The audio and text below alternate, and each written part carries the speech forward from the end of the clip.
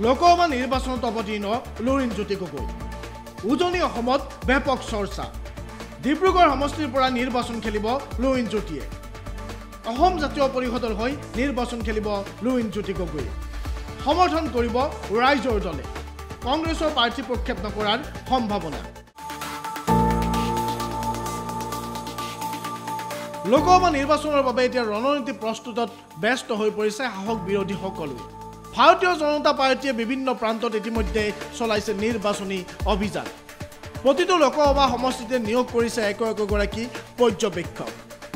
তাৰ সমান্তৰালভাৱে বহি থকা নাই আন আন ৰাজনৈতিক দলসমূহেও। বিৰোধী ৰাজনৈতিক দলসমূহেও নিৰ্বাচনী প্ৰস্তুতি আৰম্ভ কৰিছে। ভাৰত জোড়ো যাত্ৰাৰ জৰিয়তে কংগ্ৰেছে আৰম্ভ কৰিছে নিৰ্বাচনী প্ৰস্তুতি। তাৰ মাজতে চৰ্চা চলিছে বিশেষকৈ উজনি অসমত ব্যাপক চৰ্চা চলিছে লুৰিণজ্যোতি গগৈৰ বিষয়ে। লুৰিণজ্যোতি গগৈয়ে নিৰ্বাচন খেলিব পাৰি ডিব্ৰুগড় লোকসভা সমষ্টিত ডিব্ৰুগড় লোকসভা সমষ্টিত দুয়োখন জিলা ডিব্ৰুগড় আৰু তিনিচুকীয়াত বিশেষ সাংগঠনিক ভেটি আছে লুৰিণজ্যোতি গগৈ। যোৱা বিধানসভা নিৰ্বাচনত লুৰিণজ্যোতি গগৈ পৰাজিত হ'লেও দুটাকৈ সমষ্টিত প্ৰতিদ্বন্দ্বিতা কৰিছিল। নাহৰকটীয়া আৰু দুলীয়াজান দুয়োটা সমষ্টিতে বহু সংখ্যক ভোট পাবলৈ সক্ষম হৈছিল লুৰিণজ্যোতি গগৈ। আৰু এই দুয়োটা সমষ্টিয়ে ডিব্ৰুগড় লোকসভা সমষ্টিৰ অন্তৰ্গত। আনহাতে তিনিচুকীয়াত লুৰিণজ্যোতি গগৈৰ ঘৰ আৰু সেই সূত্ৰে তিনিচুকীয়াতো আছে লুৰিণজ্যোতি গগৈৰ সমৰ্থক। তেনে প্ৰেক্ষাপটত তিনিচুকীয়া আৰু ডিব্ৰুগড় জিলাক সামৰি গঠন হোৱা ডিব্ৰুগড় লোকসভা সমষ্টিৰ বিভিন্ন প্ৰান্তত আছে লুৰিণজ্যোতি গগৈৰ ব্যাপক সাংগঠনিক ভেটি। সেয়েহে ডিব্ৰুগড় লোকসভা সমষ্টিৰ পৰা প্ৰতিদ্বন্দ্বিতা কৰিব বিচাৰিছে লুৰিণজ্যোতি গগৈয়ে যদি লুৰিণজ্যোতি গগৈয়ে অসম জাতীয় পৰিষদৰ হৈ প্ৰতিদ্বন্দ্বিতা কৰে তেতিয়াহ'লে সমৰ্থন কৰিব পাৰে ৰাইজৰ দলে। ৰাইজৰ দলে নিজাববীয়াকৈ প্ৰাৰ্থী প্ৰক্ষেপ নকৰি লুৰিণজ্যোতি গগৈকে সমৰ্থন কৰিব বুলি ইতিমধ্যে খবৰ ওলাইছে। ইতিমধ্যে লুৰিণজ্যোতি গগৈয়ে ৰাইজৰ দলৰ শীৰ্ষ নেতৃত্বৰ সৈতে গোপন বৈঠকত বহা বুলিও জানিব পৰা গৈছে। আনহাতে লুৰিণজ্যোতি গগৈয়ে নিৰ্বাচন খেলিলে প্ৰাৰ্থী নিদিয়াৰ সম্ভাৱনা আছে কংগ্ৰেছেও।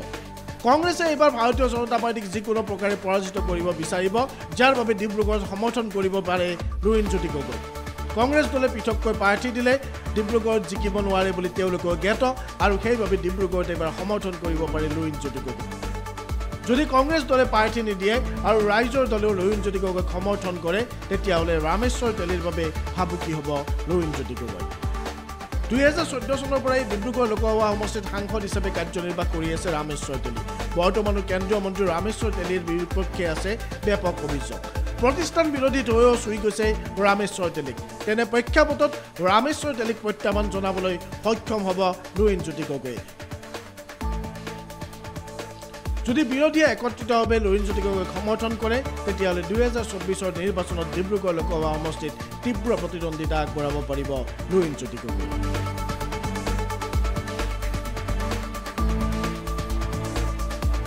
আচুত থকাৰ সময়ৰ পৰা ডিব্ৰুগড় লোকসভা সমষ্টিত অতি শক্তিশালী ৰূপত পদাৰ্পণ কৰিছিল লুৰিণজ্যোতি গগৈয়ে।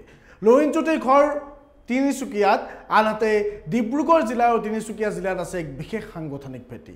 যোৱা নিৰ্বাচনতো নাহৰকটীয়া আৰু দুলীয়াজান সমষ্টিৰ পৰা বিধানসভা নিৰ্বাচনত অৱতীৰ্ণ হৈছিল লুৰিণজ্যোতি গগৈয়ে আৰু সেই সূত্ৰে ডিব্ৰুগড় জিলাৰ বিভিন্ন প্ৰান্তত আছে সাংগঠনিক ভেটি।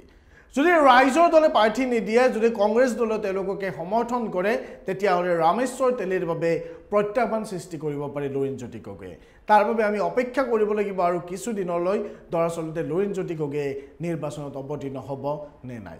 ধন্যবাদ চাই থাকিব প্ৰাগ নিউজ ডিজিটেল।